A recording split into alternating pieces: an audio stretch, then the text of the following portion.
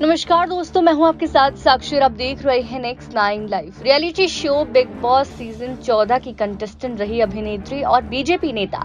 सोनाली फुगाट का हाल ही में निधन हो गया है। सोनाली गोवा में टूर के दौरान दिल का दौरा पड़ने से अचानक दुनिया को छोड़ गई। टीवी इंडस्ट्री में उनके साथी कंटेस्टेंट रहे राहुल वैद वैद्य ने सोनाली के निधन पर दुख ज़ाहिर किया।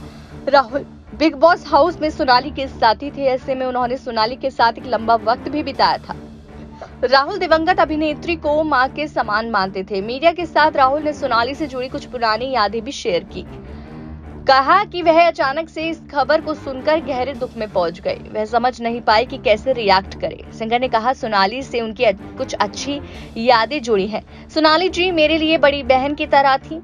वह मेरी शादी में भी शामिल होने आई थी और हाल ही में जब फ्रेंडशिप डे था पर मेरा गाना रिलीज़ हुआ था तो उन्होंने मुझसे मेरा गाना उन्हें व्हाट्सएप पर भेजने को कहा था।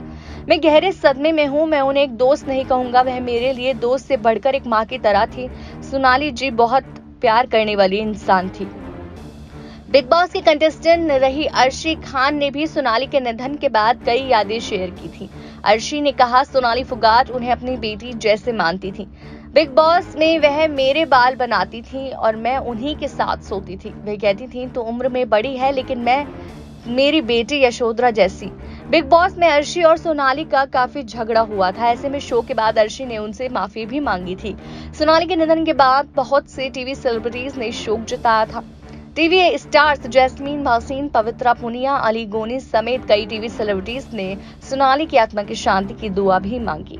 ऐसे अपडेट्स के लिए चैनल को सब्सक्राइब करना ना भूलें।